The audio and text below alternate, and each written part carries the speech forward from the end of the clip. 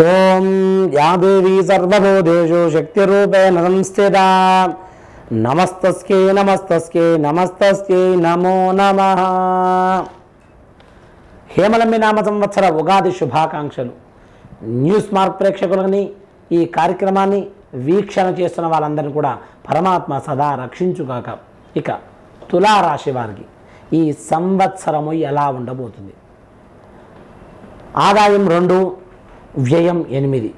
రాజపూజ్యం ఒకటి అవమానం ఐదు. చిత్తా నక్షత్రం మూడు నాలుగు పాదాలలో ఉన్న వాళ్ళు కూడా స్వాతి నక్షత్రం ఒకటి రెండు మూడు నాలుగు పాదాలు ఉన్న వాళ్ళు కూడా విశాఖ ఒకటి రెండు మూడు పాదాలు ఉన్న వారికి కూడా తులారాశి. ఏమండి? మాకు నక్షత్రం తెలియదు. పేర్లు తెలుసు. ఆ అక్షరాల పేరు చూద్దాం. రా రి రు రే రో తా తి తు తే. అక్షరాలతో ప్రారంభమయ్యే కూడా తులారాశి. ఈ రాశి వారికి ఈ సంవత్సరము మిశ్రమ ఫలితాలు గోచరిస్తున్నాయి. పాత సమస్యలు గత కొంతకాలంగా ఏలినాడి శనైశ్చర ప్రభావంతో బాధపడుతున్నప్పటికీ కూడా ఈ సంవత్సరము ప్రభావం కొంతమేర తగ్గిపోయే అవకాశం కూడా ఉంటుంది. కొత్త కొత్త సమస్యలు వస్తున్నప్పటికీ కూడా పాత సమస్యలు దీర్ఘకాలికంగా ఉన్న సమస్యలన్నీ కూడా తగ్గిపోతాయని మీపై అనేక బాధ్యతలు కూడా పెరుగుతాయి. మీ దైనందిన జీవితంలో ఖర్చులు కూడా అధికంగా ఉండే అవకాశం ఉంటుంది.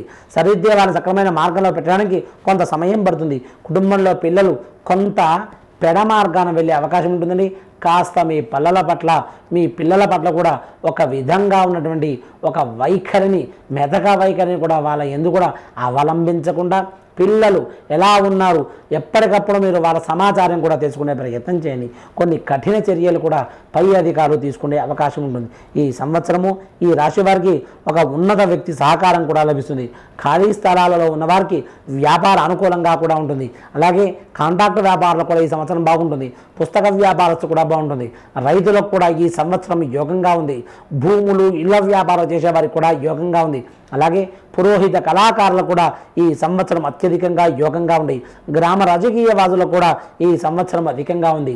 తులారాశి వారిలో ఒకరిని ఈ సంవత్సరము తెలుగు రాష్ట్రాలలో విశేషంగా అనేక మందికి మంత్రి పదవులు కూడా తులారాశి వారికి వచ్చే అవకాశం కూడా కనిపిస్తుంది. ఇక మనం ఓవరాల్గా సంవత్సరం అంతా ఒక మాటలు చెప్పుకోండి. మిశ్రమ మిశ్రమలతోనే అక్టోబర్ తర్వాత మీ యొక్క రాశిరీత్యా మార్పులు అధికంగా కనిపించే అవకాశం ఉంది. ఇక వీలైనంత వరకు మీరు ఒక నలభై రోజులు వరుసగా ఎప్పుడైనా పెట్టుకొని నవగ్రహ ఆరాధన చేయండి. లేదంటే వారానికి మూడు రోజులైనా గురు శుక్ర శనివారం రోజున వరుసగా మూడు రోజులు నవగ్రహ ప్రదక్షిణం చేసి నవగ్రహ అనుగ్రహం పొందండి.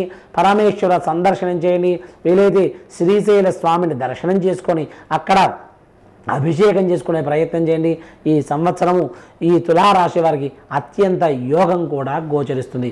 సర్వం శ్రీ పరమేశ్వరార్పణమస్తు.